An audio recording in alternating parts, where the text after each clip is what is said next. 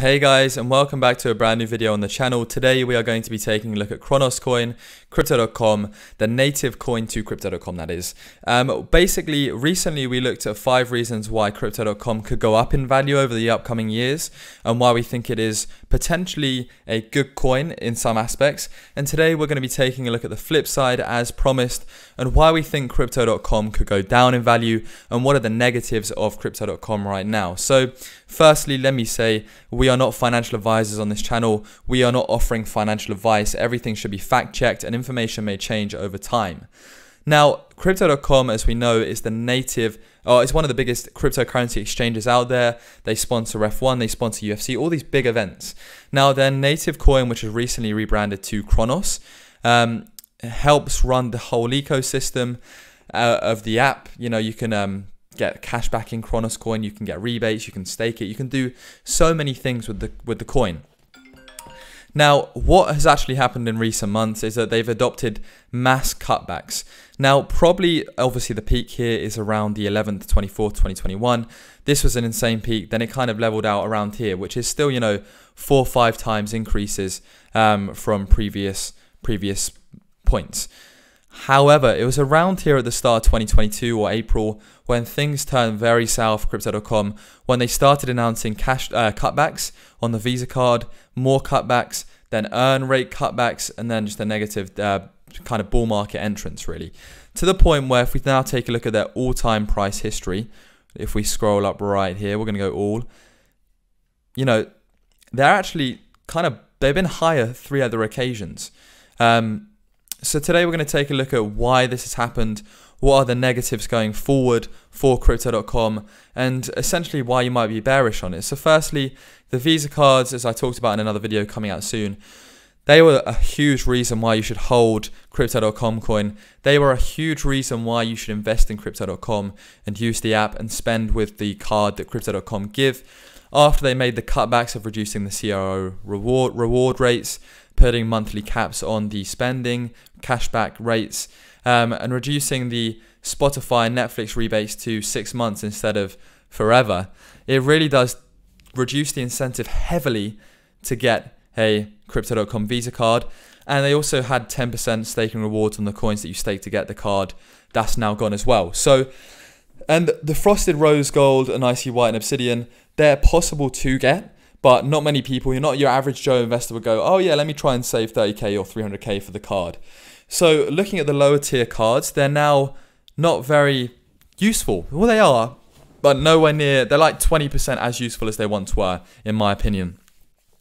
Especially when the likes of Binance are releasing a card, Plutus are still pumping out rewards, and your general day to day bank is offering 1% cashback there's a lot of things now that are competing with this Visa card. And it's in a time when there's more competition, by cutting back, I believe that reducing the incentive to get the card is just all bad timing. So lower incentive to get the card means lower demand for CRO coin.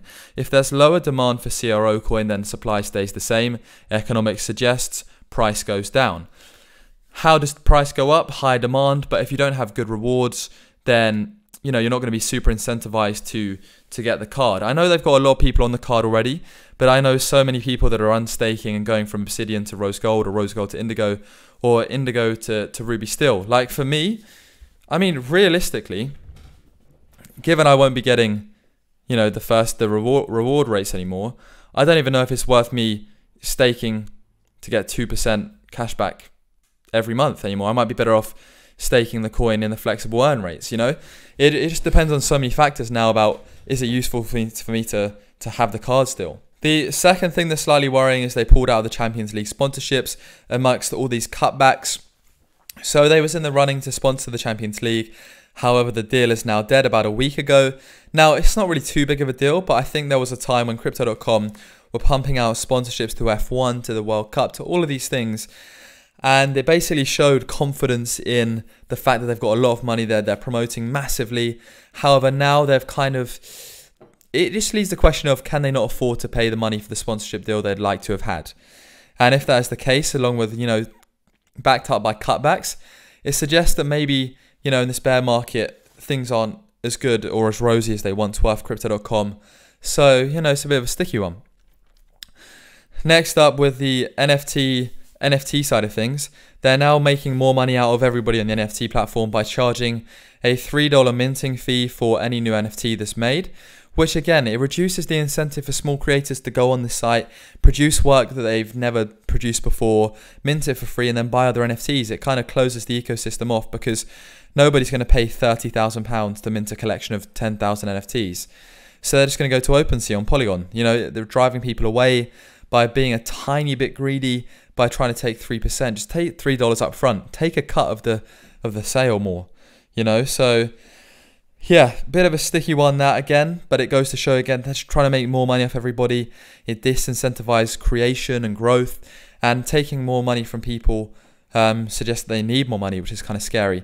And then finally, the third and final reason why Crypto.com right now is potentially on the ropes is that they cut down the earn rates um, massively, lowering the tier one quota from 30,000 to 3,000. And as I talk about in an upcoming video, by having a lower tier one quota, once you fill up $3,000 of crypto in the earn section, you don't really have that much of an incentive to hold it in crypto.com versus the likes of Binance or your local bank, um, because the bank gives you 3% interest in some some places now. Um, so you wouldn't hold it for US dollar coin again, Binance, you get 2,000 quota on every coin, I believe. Well, not every coin, but a lot of coins.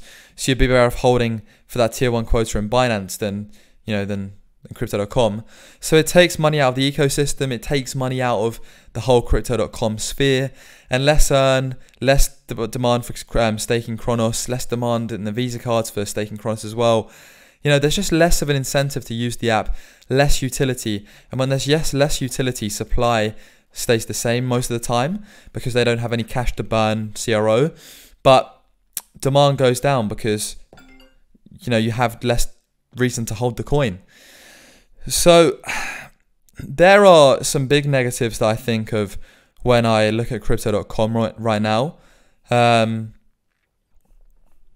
yeah, I think it's one of the biggest crypto exchanges out there. They've got 50 million users. Is it undervalued for 50 million users to have a company worth 3 billion? Is crypto the future? You know, there's a lot of potential still there. You know, I'm not discounting it just yet. It's a household name, simple to use, but it's just a tiny bit of a shame when it was so utility focused and great that it is now no longer not sort of thing. Um, but let me know what you guys think. Comment down below, and I'll uh, catch you again soon.